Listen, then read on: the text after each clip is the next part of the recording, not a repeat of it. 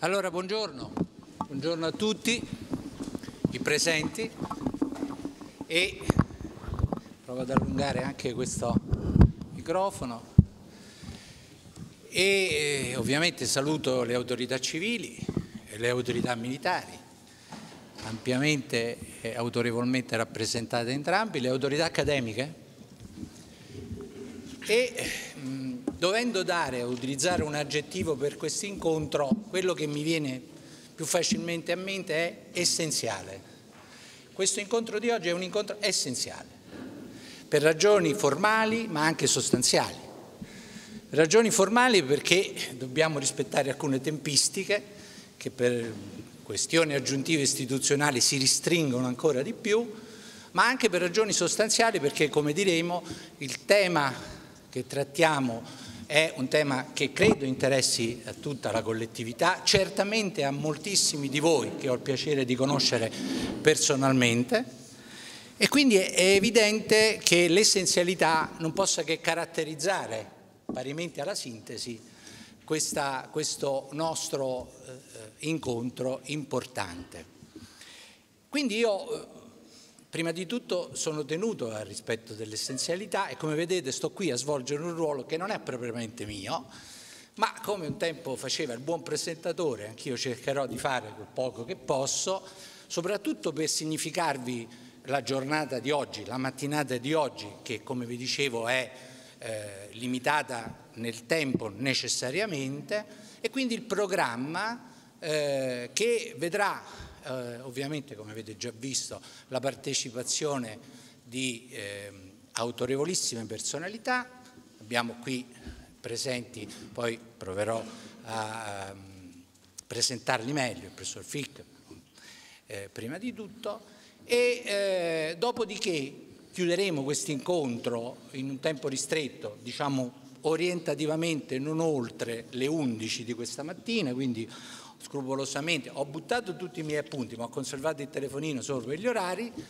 e quindi per le 11 ci trasferiremo tutti quanti nella Basilica dove verrà celebrata la Santa Messa,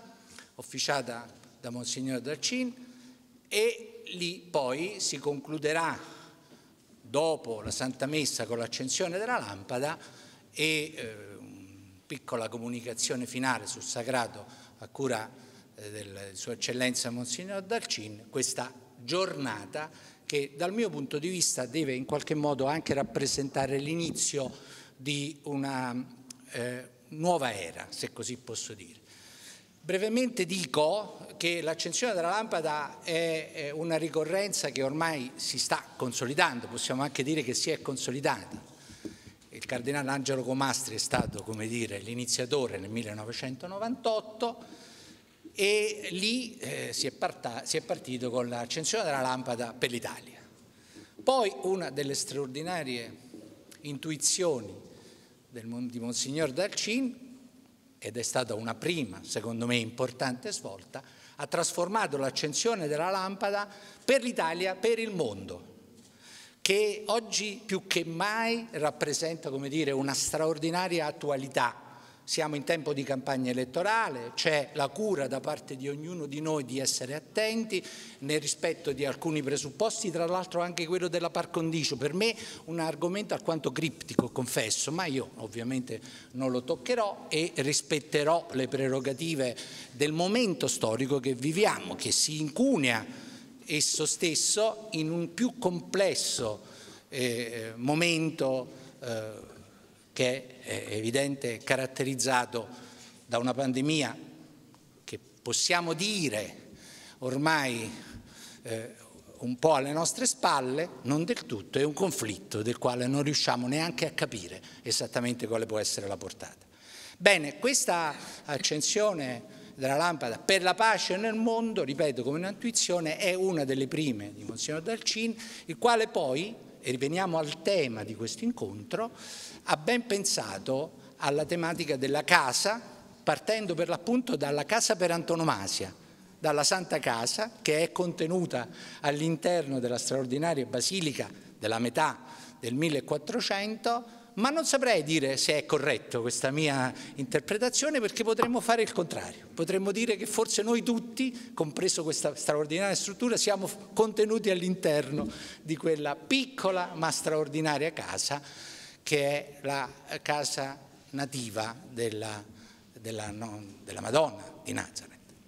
della Santa Madonna. E quindi ecco, noi oggi iniziamo questa tematica eh, della quale vi dicevo, partendo da questo concetto che è quello della, di una interpretazione della casa in un'accezione molto più ampia di quella che potrebbe essere data, casa come luogo di coesione familiare, necessario in un momento in cui i conflitti anche familiari sono forti e comunque è necessario preservare quel luogo come luogo di protezione per gli abitanti. Mi dispiace, ma tutti sappiamo che purtroppo eh, molti reati, femminicidi e non solo, avvengono proprio nell'ambito familiare. Questo non ci deve però far rinunciare a tutelare, a preservare quel luogo sempre di più, perché è il luogo dell'appartenenza, del collegamento, come casa, quindi casa come luogo di coesione familiare, ma come luogo di coesione sociale, all'interno del quartiere, all'interno della città,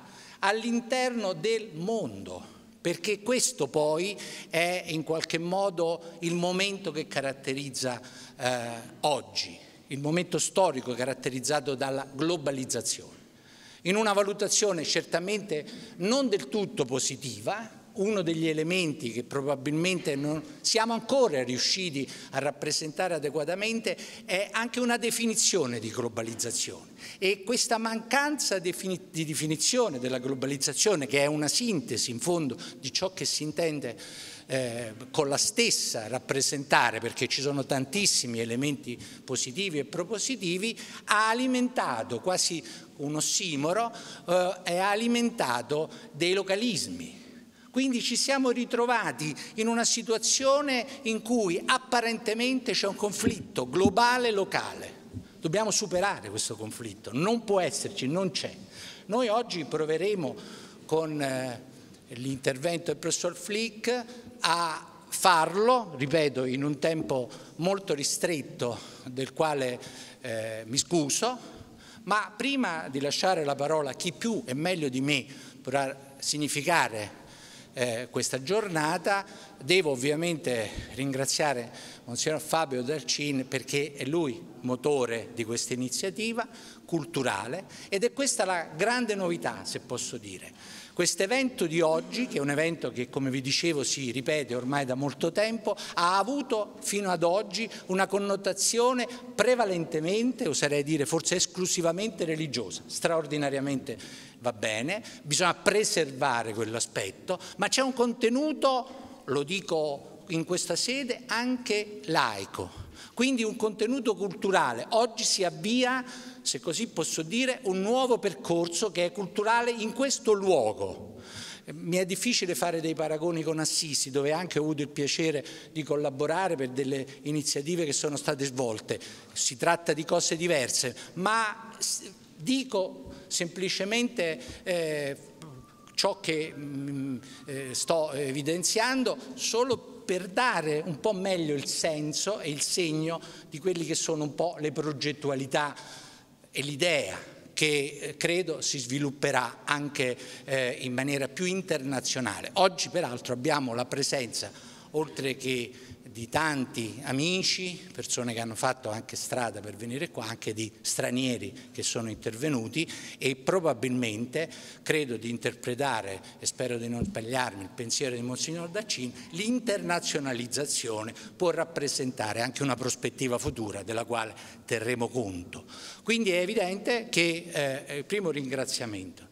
Permettetemi poi di ringraziare veramente con grande affetto, con grande gratitudine la dottoressa Luciana Lamorgese.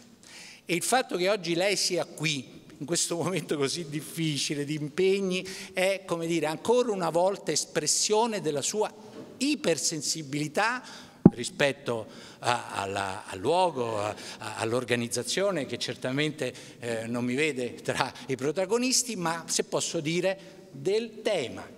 che in questi anni l'ha impegnata, la impegna, verranno dette delle cose, verranno eh, evidenziate, seppur in maniera eh, dire, breve, eh, tutte le eh, varie eh, diciamo così, iniziative per l'appunto che il ministro Luciano Lamorgese o la ministra, anche qui mi è difficile poi riuscire a, a coniugare correttamente eh, eh, Luciano Lamorgese, ha negli anni dimostrato, dimostrato. Quindi grazie, grazie per questo.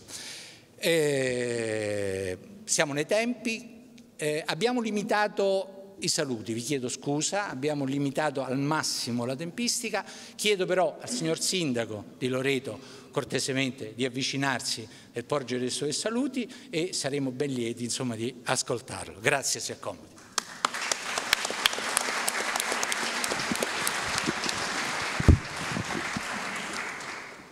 Grazie, grazie, professore. Io nel rispetto dell'indicazione data dal professore ho, ho scritto questo mio saluto a nome dell'intera città e dei loretani tutti. Intanto buongiorno e benvenuti a tutti nella nostra città. Innanzitutto desidero ringraziarvi per essere qui questa mattina in occasione della nostra festa patronale. Ringrazio e saluto tutte le autorità presenti e con loro il Ministro dell'Interno, onorevole Luciana Lamorgese, per aver accettato l'invito ad accendere la lampada del mondo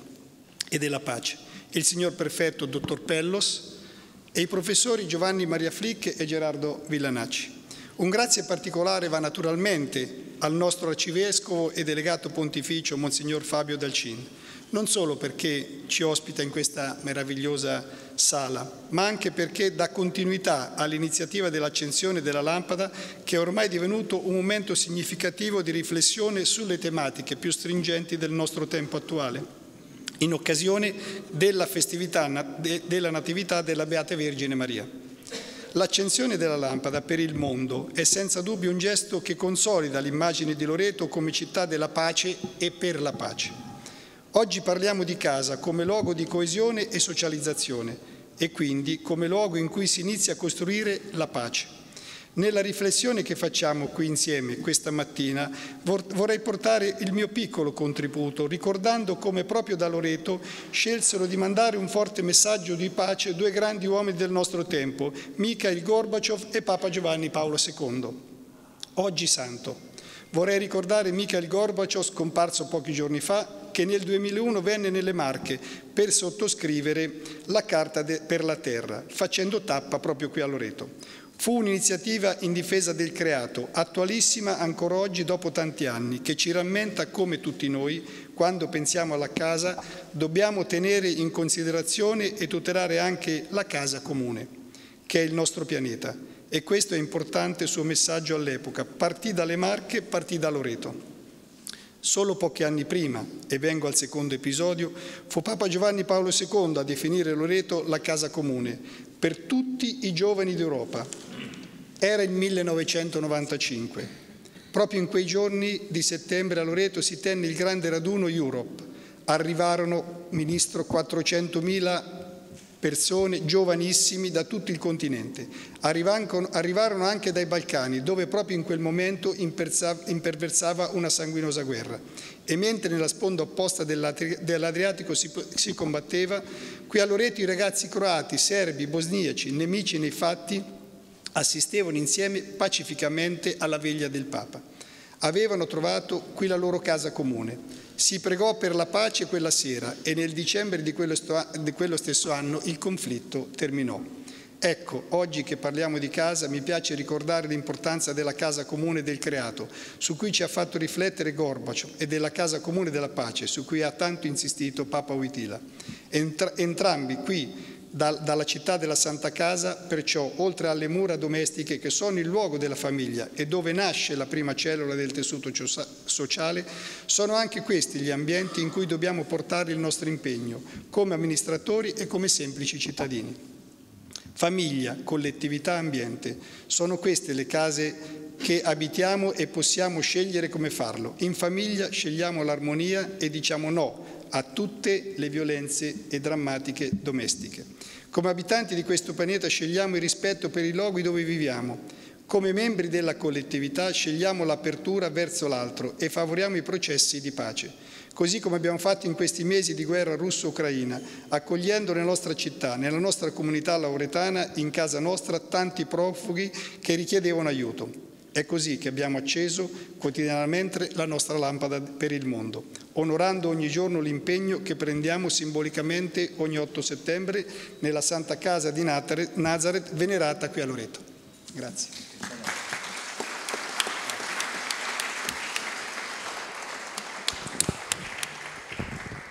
Grazie signor Sindaco. Ehm, prima di dare la parola al professor Flick, ehm, non posso mancare eh, di ringraziare l'organizzazione della Santa Casa e ovviamente tutti coloro che hanno dato un apporto determinante. Qui davanti a me c'è il prefetto, Sua Eccellenza, dottor eh, Darco Pellos, al quale vanno i miei ringraziamenti, perché organizzare è sempre molto difficile e eh, io posso eh, come dire, eh, eh testimoniarlo ormai eh, per eh, le numerose iniziative che ho avuto il piacere anche di realizzare. Mm, sono certo che non c'è bisogno di presentare il professor Giovanni Maria Flick perché tutti voi lo conoscete, io posso dire che mm, a lui mi accomunano tante cose, anche il piacere, se mi è consentito, dire della sua amicizia, della quale mi onoro ovviamente. Forse non tutti sanno, certamente sanno del professor Flick, ministro della giustizia, presidente della Corte Costituzionale, presidente merito della Corte Costituzionale, ma di giudice, qui ci sono tanti giudici, ma lui, e questo mi accomuna in qualche modo a lui, ha iniziato facendo il giudice, il magistrato. E, ed è molto importante per me questa cosa perché eh, non c'è il tempo per farlo, ma in qualche modo eh, la rappresentazione della funzione che la magistratura e i giudici sono sociale, della funzione sociale che la magistratura e i giudici sono chiamati a svolgere. Il professor Flick lo ha fatto eh, documentando il suo pensiero attraverso numerosi scritti, il tema che stiamo trattando eh, è certamente un tema che so per certo essergli a cuore, mi resterebbe difficile citare tutta la sua biografia e la bibliografia, però certamente prima di passarti la parola Gian Maria dico eh, eh, gli ultimi scritti, che non sono proprio gli ultimi in senso stretto, sono degli scritti per gli elogi, l'elogio alla Repubblica, l'elogio alla Costituzione, l'elogio al patrimonio, in un'accezione che poi se il professore vorrà dirà, ma c'è anche l'elogio alla città, l'unico elogio che il professor Flick nel titolo pone con il punto interrogativo, mentre gli altri no. Quindi con piacere passo la parola al professor Flick e siamo tutti eh, dire, eh, in attesa di ascoltarlo.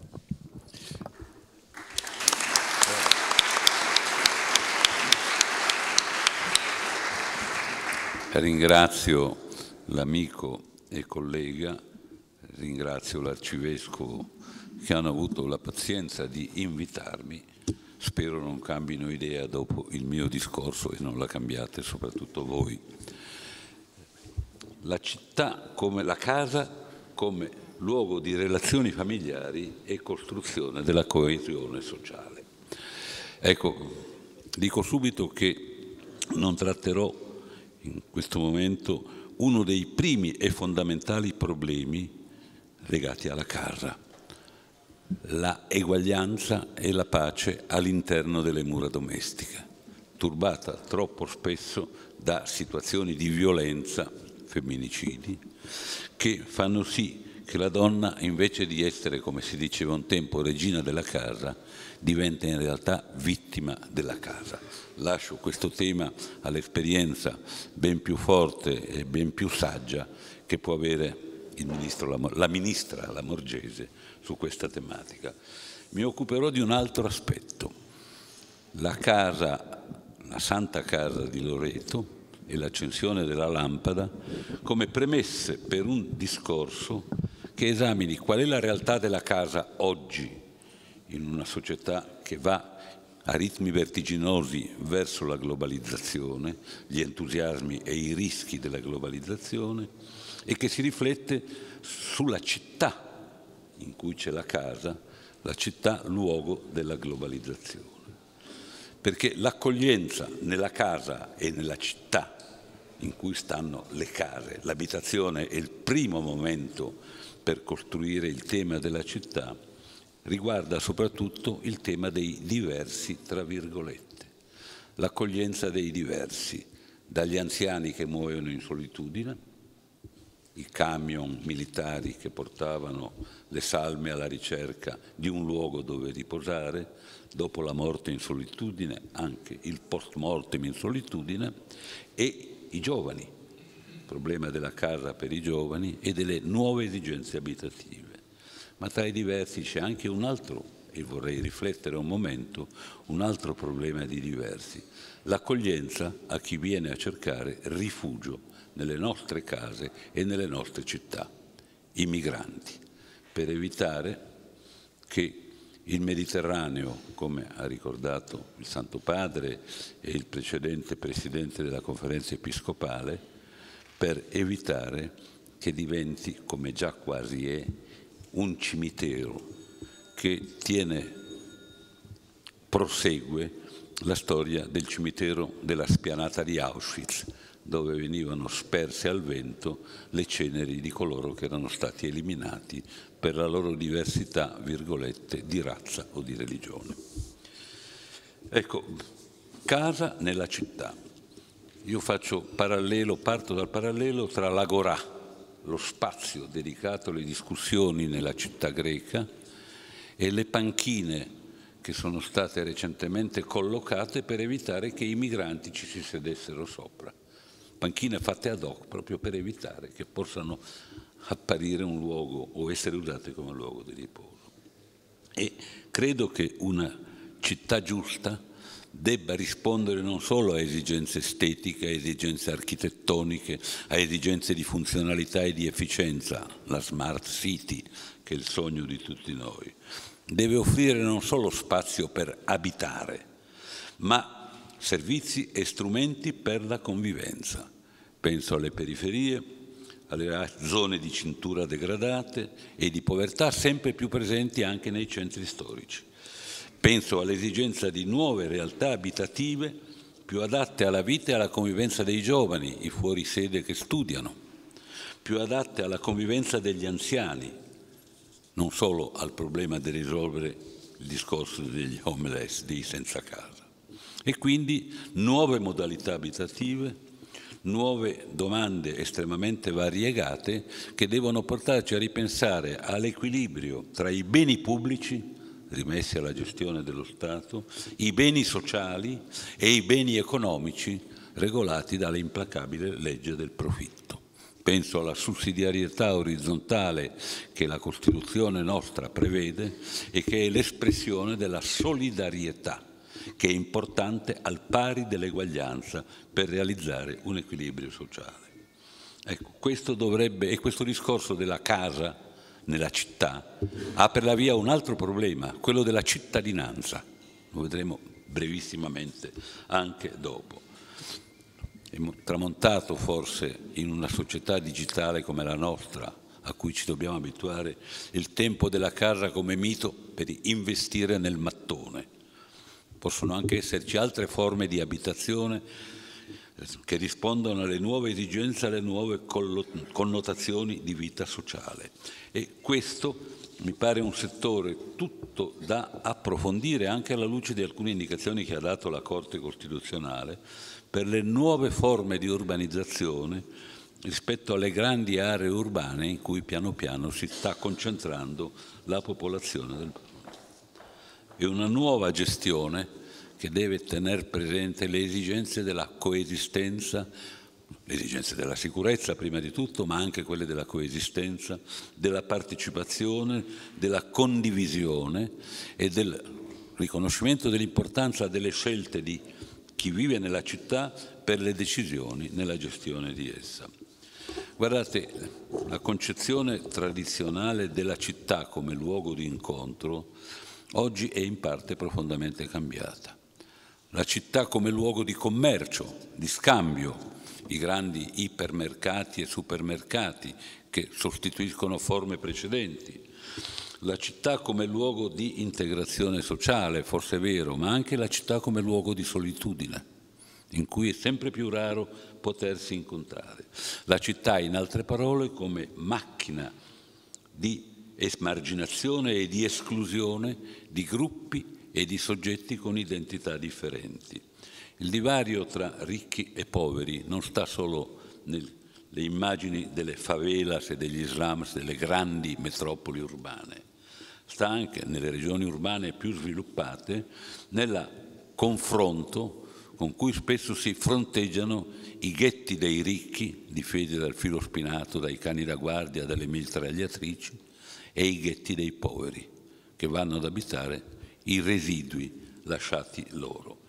La storia della città è una storia in cui i muri sono stati piano piano trasformati e le strade da mezzo di unione a mezzo di, eh, mezzo di comunicazione a mezzo di esclusione, di separazione. Pensate al muro di Berlino e a quel muro che tagliava una strada non trasversalmente, ma per lunghezza, in modo che coloro che abitavano da una parte non potevano guardare nelle finestre che stavano nell'altra parte. Tutto questo è aumentato spasmodicamente con la tendenza dei flussi migratori da venire dalle città o dai luoghi di residenza dei poveri alle città dei ricchi e ha alimentato ampiamente le tendenze ad ostacolare questo movimento attraverso strumenti di chiusura e di difesa e ha aperto un'altra fonte di diseguaglianze, anche tra poveri, i quali a questo punto si differenziano gli uni dagli altri per la loro situazione e sono in contraddizione. Pensate alle polemiche allucinanti che hanno accompagnato la distinzione tra i profughi ucraini che sono stati accolti e i profughi che venivano da altre realtà dello stesso tipo. Qualcuno ha detto no, questi non li accogliamo, questi non li vogliamo, noi accogliamo soltanto i profughi europei. Ecco, questo è il discorso. E io credo che sia assolutamente necessario pensare a questo tipo di discorso. E allora il discorso della Santa Casa e della sua luce mi fa pensare a quello che ci scrive nel discorso delle città invisibili la Bibbia. Calvino nelle città invisibili lo ricorda. È il problema della, eh, scusate, ecco, di Gerusalemme la città che è al tempo stesso la città dell'odio e della guerra, ma che è destinata a diventare la città della gioia. Della, è la città ambita, se ti dimentico Gerusalemme, che la mia mano destra si inaridisca, il luogo della pacificazione. In realtà è il dispiegarsi giornaliero di una città in cui nei giorni feriali ci si spara, si fanno gli attentati, nei giorni festivi, a cominciare dal canto del muezzin il venerdì che chiama la moschea, al, al appello ebraico alla sinagoga nel Sabbat e al suono delle campane nella domenica. È uno dei pochi posti dove questi tre segni convivono a proposito della festa è la città della pace, dell'Apocalisse, la città celeste sulla quale valgono le invettive dei profeti Amos e Isaia contro il culto del lusso e della corruzione, contro la relazione incestuosa tra il Tempio e i palazzi del potere, nella quale non c'è rispetto per la vedova o per l'orfano. E questo mi fa passare al secondo momento e alla seconda problematica, e cioè dalla casa alla città, la casa e la città che accolga i diversi, i migranti. Quello che la Bibbia dice quando dice ama lo straniero, perché tu, anche tu sei stato straniero. È una realtà che dovremmo ricordarci, soprattutto noi italiani, che ancora nella Costituzione, e giustamente, abbiamo ricordato che eravamo allora un popolo di migranti, con le valigie di cartone legate dallo spago, che andava a cercare il pane e la sopravvivenza, prima nelle lontane Americhe, poi nella più vicina Svizzera, nel Belgio, nelle miniere di Marcinelle da ultimo. E questo mi porta alla seconda parte della mia riflessione, se ho ancora un momento di tempo. Papa Francesco ci ricorda che il Mediterraneo è il cimitero più grande d'Europa.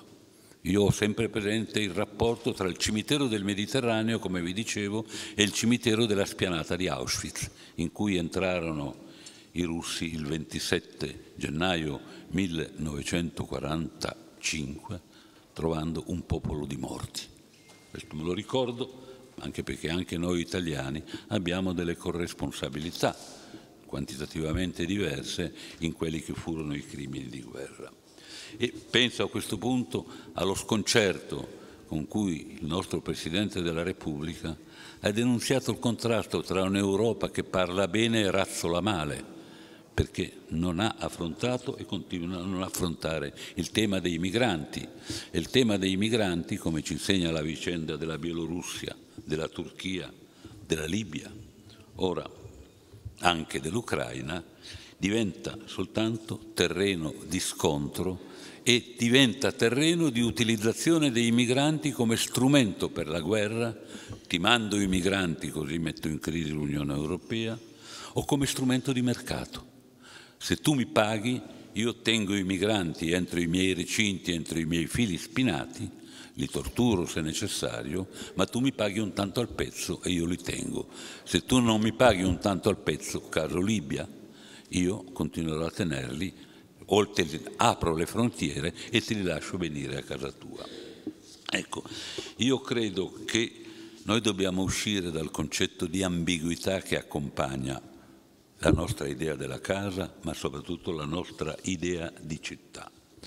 E dobbiamo uscire in base a un principio fondamentale, l'uguaglianza di tutte le persone, è una regola fondamentale della vita. Non è il pane che va dove c'è la fame, è la fame che corre dove c'è il pane. E tenere conto di questo motto quando diciamo con molta saggia disinvoltura ma mandiamo degli aiuti e lasciamoli al loro paese. Perché di solito gli aiuti che finora abbiamo mandato sono stati in realtà finanziamenti ai dittatorelli locali per comprare armi e gioielli e non sono andati a ricostruire quei posti. E credo che questo sia abbastanza importante. E mi colpisce nel campo dei migranti, proprio me lo fa pensare l'idea della casa, della santa casa e della lampada che andiamo ad accendere, la svolta che vi è stata anche nel Mediterraneo. C'è stato un periodo in cui l'operazione Mare Nostrum, a cui fu particolarmente interessata la nostra Marina,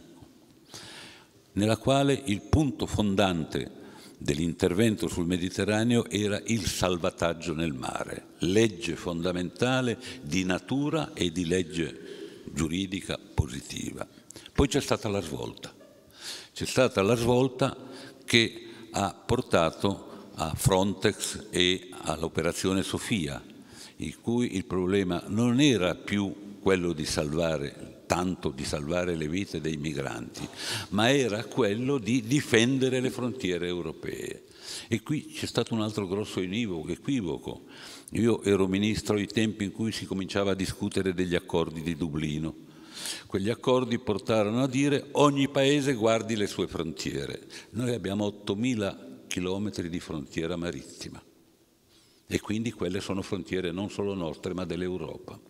Ci fu un equivoco, perché noi ci dichiarammo d'accordo sul guardare le nostre frontiere di 8.000 chilometri, tanto sapevamo che i migranti che arrivavano erano ancora entità più piccole, non le migrazioni di massa, andavano ai paesi del nord dove avevano i parenti, dove avevano il lavoro e da noi si fermavano poco. Ed è per questo che siamo rimasti impreparati con le nostre strutture di accoglienza quando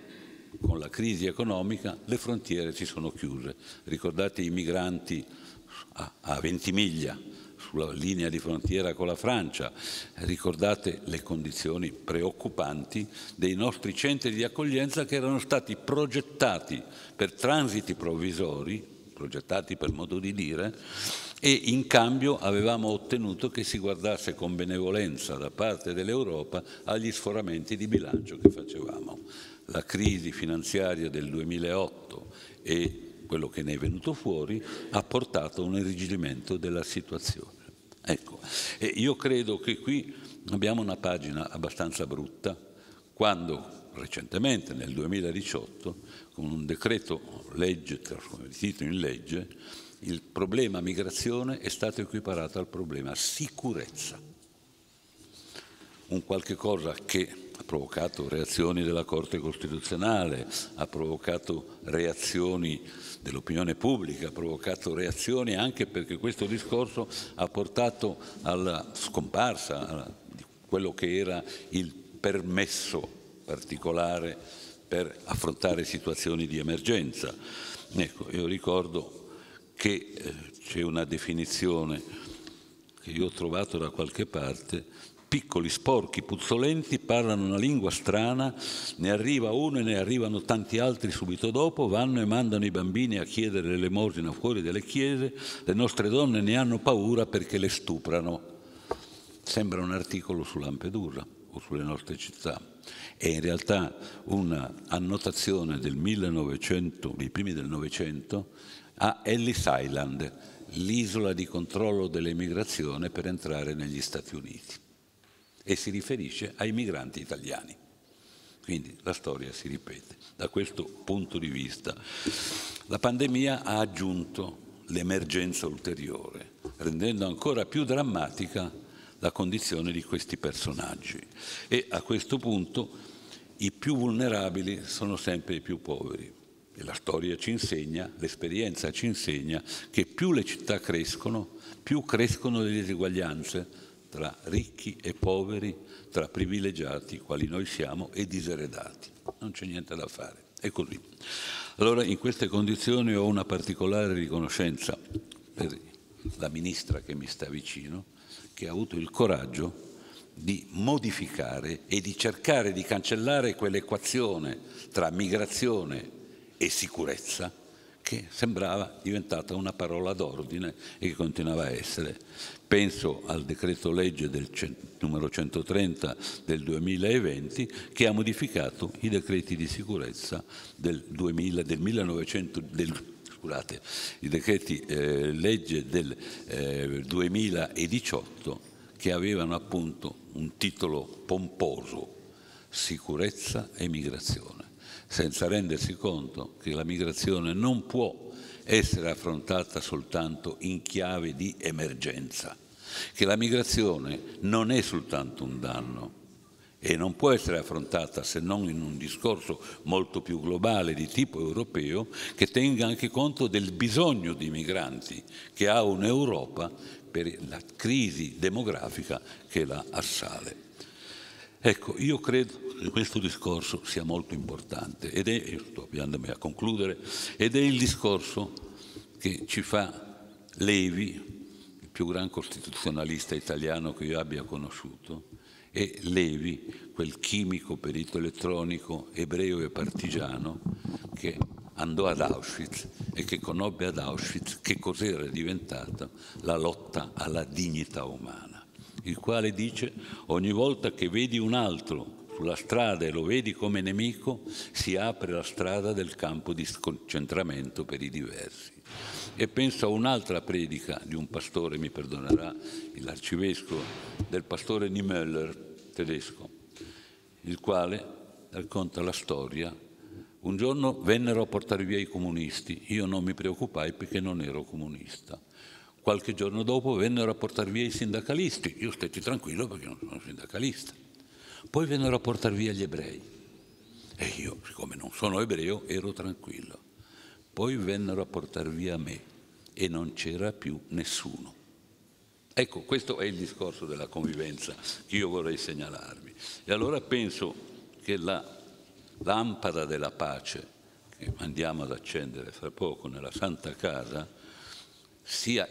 possa e debba diventare il segno della convivenza nella casa, ma anche delle rotte dei barconi che attraversano il Mediterraneo con gli infelici o del buio delle foreste in cui altri migranti cercano di riuscire ad arrivare alla città del benessere.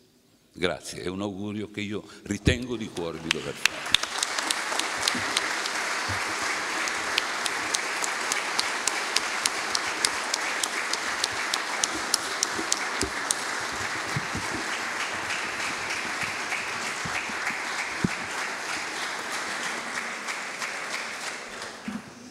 Grazie, grazie Gianmaria. E, prendo spunto da queste ultime straordinarie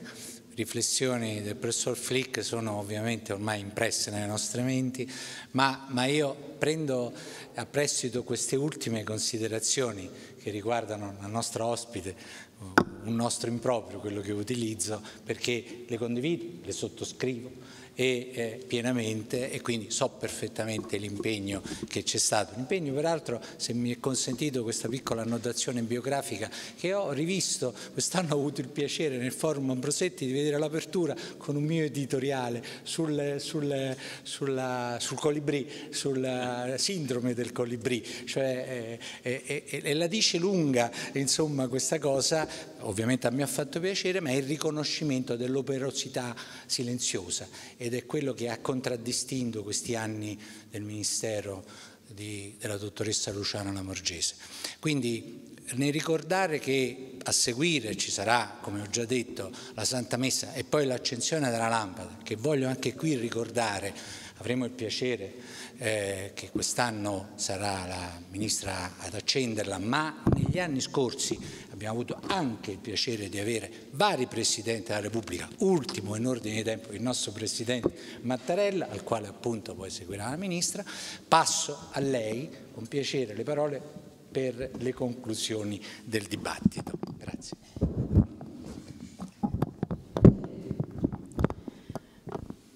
Innanzitutto grazie per questo invito grazie all'eccellenza del CIN con il quale ci siamo sentiti eh, perché per me ogni volta che mi invitano a tornare eh, nelle Marche lo faccio sempre molto volentieri perché ho vissuto una parte della mia vita, forse proprio quando mi preparavo per il concorso di accesso alla carriera prefettizia, io ricordo che lo preparavo eh, in, questi, in questo territorio, quindi per me è un tornare un poco a casa perché mi, mi sovvengono eh, anche ricordi familiari. L'argomento è molto interessante, io davvero ringrazio il professor Frick per tutti gli accenni che ha voluto portare avanti, eh, soprattutto sul tema eh, delle, dei migranti, delle migrazioni, che è un tema che eh, ci ha molto impegnato ovviamente come Ministero dell'Interno, ma non solo, anche le comunità e quindi un saluto a, anche alle autorità locali, al Sindaco, al Presidente della Provincia, a quelli che sono eh, tutte le autorità eh, civili e militari presenti in questa eh, sala.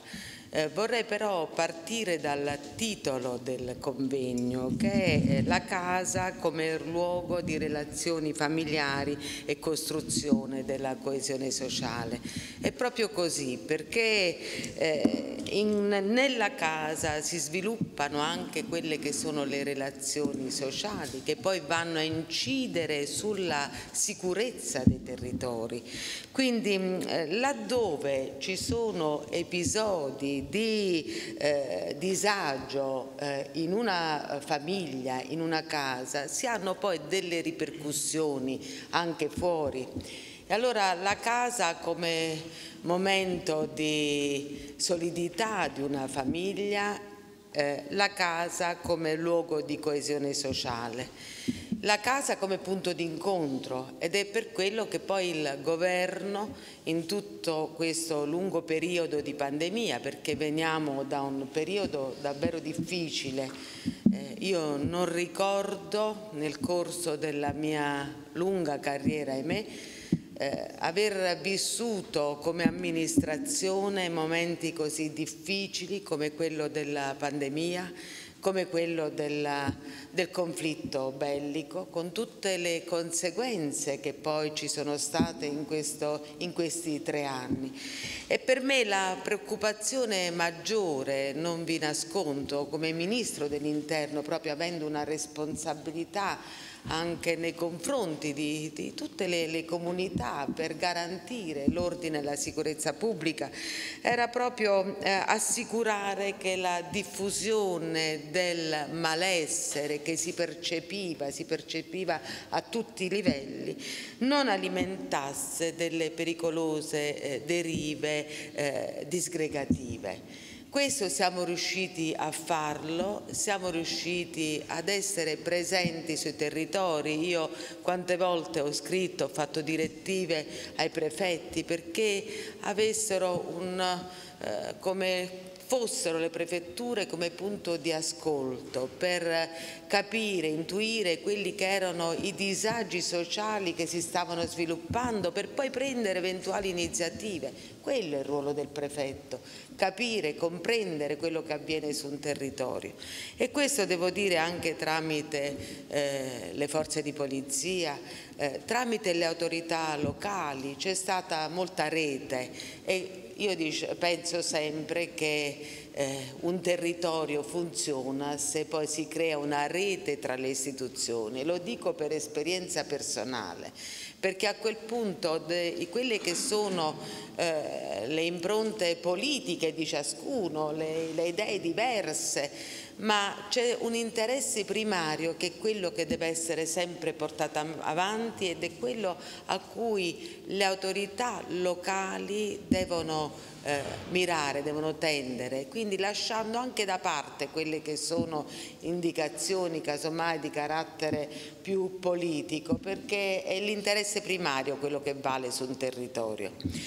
E allora ritornando un poco al concetto di, di, di casa, casa che è da vedere non soltanto da un punto di vista eh, cattolico, religioso, ma come diceva anche il professor Viranacci, ho ritrovato quello che avrei detto anch'io, cioè come luogo, come concetto laico proprio. E allora la casa può essere anche punto di momento di, eh, di violenze, voi immaginate in questo periodo di eh, lockdown soprattutto, quando eh, ci siamo ritrovati chiusi nelle nostre case, quando non tutti potevano avere appartamenti che, da garantire una, diciamo, una serena convivenza e ci si sono verificati episodi anche di violenza, ma io non parlo soltanto di violenza eh, nei confronti delle donne, che pure in quest'ultimo anno sono aumentate, pensate che su 319 casi di,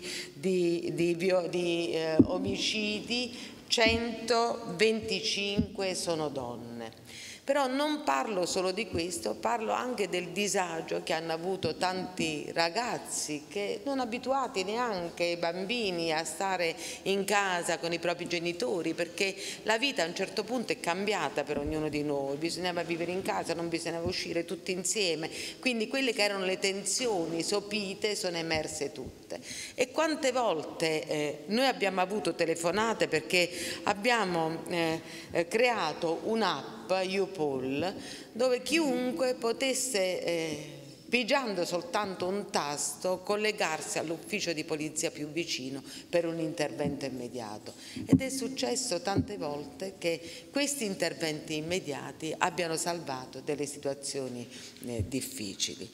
Allora io dico sempre che il Ministero dell'Interno è il Ministero eh, la cui missione principale ce ne sono tante, ma cui la, la cui missione principale è la coesione sociale tanto importante che le altre eh, funzioni possono essere viste come funzionali al raggiungimento di questi obiettivi. E allora, eh, ritornando un poco al concetto della, della migrazione, eh, la guerra bellica ci ha fatto, la, la, il conflitto bellico ci ha fatto eh, rilevare eh, una grande capacità degli italiani di accoglienza, pensate che sono circa 170.000 ucraini che in poco tempo sono arrivati nei, nei nostri paesi, ma io ho il report che riguarda tutti tutti i paesi europei. E là noi parliamo di 7 milioni di persone che a un certo punto è uscito all'improvviso da un paese eh, che si è ritrovato eh, in guerra senza neanche immaginarlo. D'altra parte chi di noi poteva immaginare che dopo una pandemia arrivasse nell'Europa una guerra così, in maniera così repentina e, e improvvisa? E, e allora eh, gli italiani hanno gradato una grande manifestazione, devo dire, di, di, accoglienza, perché la casa è anche accoglienza, e l'hanno accolti nelle loro case, a parte che poi gli ucraini sono visti un poco come europei, quindi diciamo non c'è quel timore del diverso e quindi c'è stata grande accoglienza anche da parte dei connazionali. Voi pensate che eh, la, la, comunità, una delle comunità più grandi di ucraine nei paesi europei è in Italia, dove noi abbiamo circa 250.000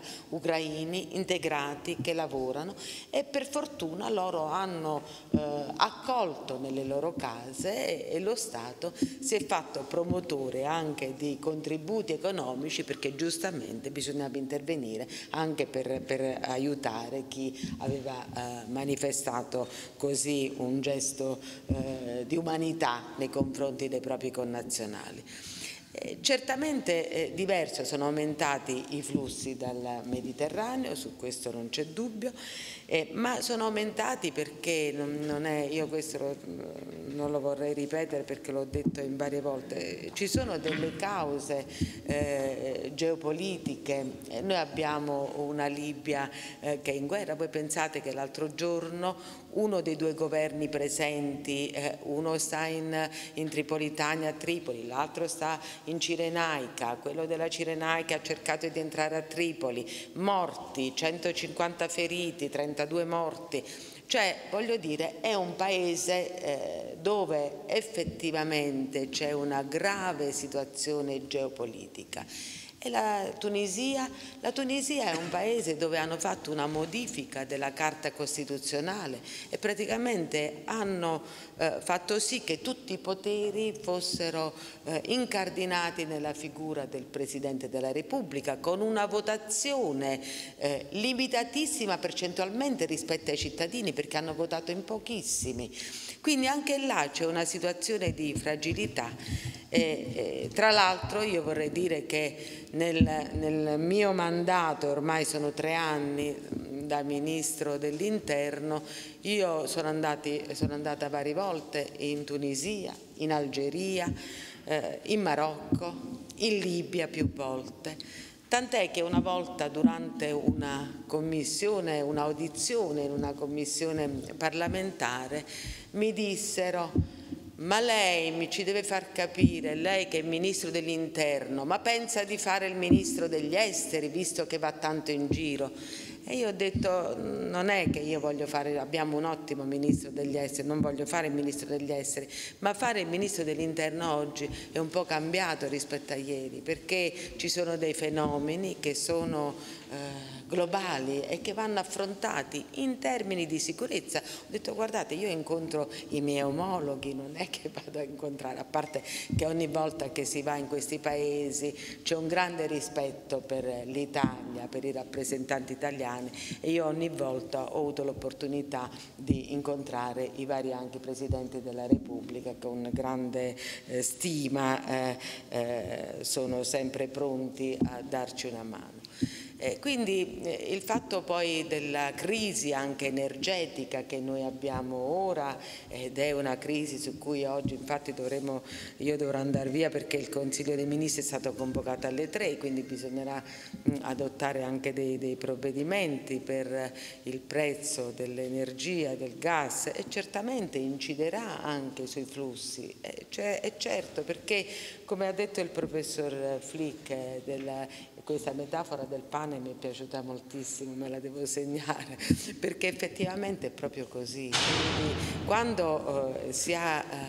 eh, eh, bisogno di, voi immaginate eh, questa gente che parte con il rischio eh, di morire in mare, di morire, di far morire anche i propri figli, evidentemente la disperazione perché pensano io qua è finita la mia vita e non abbiamo opportunità di vita. Proviamo, tanto comunque faremmo una fine che non è quella che noi vogliamo, una vita dignitosa per i nostri figli. E allora anche questo fa sì che l'aumento eh, ci sia stato. Però devo dire che probabilmente anche questo sentimento da parte delle comunità locali, perché io lo avverto, perché quando si parla di, di sicurezza e noi snoccioliamo i nostri dati, eh, sono diminuita, l'indice è aumentato, non è quello che conta, quello che conta è la percezione di sicurezza. E noi dobbiamo essere anche onesti con noi stessi, nel senso che anche il diverso fa paura, se poi noi andiamo a vedere anche gli indici di criminalità c'è certamente certamente un'incidenza, non è elevatissima, ma c'è un'incidenza. Quindi eh, ovviamente eh, qual è il problema eh, che si pone? Eh, il Trattato di Dublino. Il Trattato di Dublino è stato firmato eh, da governi di destra, di sinistra, quindi non è eh, un problema eh, che abbiamo portato noi eh, ora ai tavoli internazionali, però ai tavoli internazionali abbiamo portato due eh, problemi grossi. Il patto asilo e immigrazione che era fermo da anni si sta sbloccando e questo perché? Perché noi, il Ministro dell'Interno, ha creato innanzitutto una, eh, un panel con eh, i ministri dell'Interno del Mediterraneo con cui noi parliamo, ci consultiamo e l'Italia è capofila. E con questi ministri abbiamo portato le nostre idee avanti fino ad arrivare da quello che era il Trattato di Malta tanto bistrattato, ma vi assicuro che quello fino a quando ha funzionato ha funzionato benissimo perché voi pensate che in pochi mesi, da settembre a dicembre, sono state ricollocate circa 800 persone, quando da gennaio a, a, a settembre ne erano state collocate se no 300, quindi eh, aveva dato degli effetti. E comunque certo poi con la pandemia eh, questo è un, è un, problema che ci ha eh, causato eh, un blocco un po' di tutte le attività, figuriamoci di quelli che delle, delle, eh, del, dei flussi eh, connessi a tutte le, le, le problematiche connesse ai flussi. Però quello che secondo me è l'aspetto veramente rilevante è l'ultima dichiarazione politica che l'Italia è riuscita a portare al tavolo europeo il 10 di giugno, perché il 10 di giugno è la prima volta che 18 paesi europei più 3 associati. E attualmente, perché giorno per giorno aumentano, se ne sono uniti altri due di paesi, hanno firmato per la relocation, ovvero per soluzioni economiche per cercare di, di, rimpatriare chi non ha diritto. Allora, quello che eh, è rilevante è che già la Francia è venuta, ha fatto le interviste e già se ne è prese una parte. La Germania già è venuta anche ad agosto, hanno dato più di 3.000 posti e 10.000 posti complessivi abbiamo da, da, da dover restituire. Questi sono elementi, secondo me, che poi vanno a incidere sul, eh, sull'accordo di Dublino, perché praticamente si scardina un principio che chi arriva deve rimanere sul tuo territorio. E allora eh, questi sono fatti. Ecco, questi sono fatti e questo secondo me è l'aspetto più rilevante perché io ogni volta che andavo in Europa dicevo ma l'Europa che cos'è se non è il fatto di, eh, di, fare una politica comune ma anche adottare iniziative comuni di aiuto ai vari paesi. Perché quando parliamo delle nostre coste e abbiamo sentito quanti chilometri sono i problemi ce l'abbiamo noi. Ma io vi racconto soltanto una cosa e poi chiudo perché so che dobbiamo andare. A me una volta mi chiama mi telefona la ministra dell'interno inglese che mi dice senti io oh, voglio venirti a trovare perché eh, abbiamo dei problemi sull'immigrazione e tu sei un'esperta perché stai seguendo questo problema da tanti anni. E io dico, le dico a lei, una donna, dico guarda, eh, c'è una diversità tra me e te, perché tu parli del, eh, di quelli che arrivano dalla Manica e quindi tu hai a che fare con la Francia, io ho a che fare con i paesi del, eh, dell'Africa. Io ho a che fare con la Libia, con la Tunisia, se tu vieni io volentieri ti do tutto quello che ti posso raccontare, quello che eh, noi abbiamo fatto come paese, però insomma è un po' diverso e allora se vogliamo è un problema sì italiano, è un problema vediamo francese, è un problema spagnolo, è un problema perché il mondo è globalizzato, perché è un problema che non si riesce a fermare se noi andiamo a ricordare quando noi italiani andavamo eh, in America. È un problema che si riesce soltanto a limitare se si fanno i partenariati con i paesi europei. Su questo sto spingendo sempre da più tempo e anche il Presidente Draghi ovviamente quando va ai Consigli europei. Non devono partire, ma come fanno a non partire? Bisogna che l'Europa si faccia parte attiva di fare delle politiche sociali, economiche in quei paesi. Se tu dai delle condizioni di vita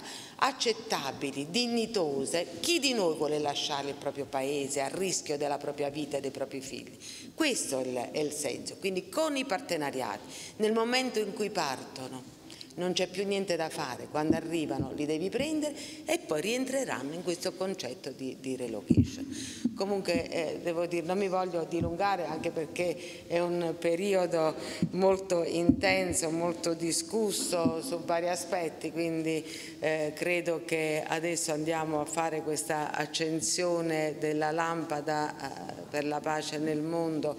e io il fatto di essere stata designata quest'anno in rappresentanza di tutte le donne e gli uomini che garantiscono in ogni nazione la pace sociale, la sicurezza, Ecco, questo me, per me è un grandissimo onore e credo che davvero questo messaggio anche che abbiamo dato oggi attraverso questo convegno sia la base su cui continuare a lavorare tutti insieme facendo rete perché soltanto in questo modo noi riusciamo ad andare avanti come Paese e contribuire allo sviluppo del nostro Paese. Quindi non ci sono risorse che tengano, le risorse del PNRR, la rigenerazione sociale, tutto va bene ma dobbiamo davvero lavorare insieme su altri aspetti, aspetti un poco più alti di, di coesione sociale che ci deve vedere vicini come popoli anche agli altri. Grazie di tutto.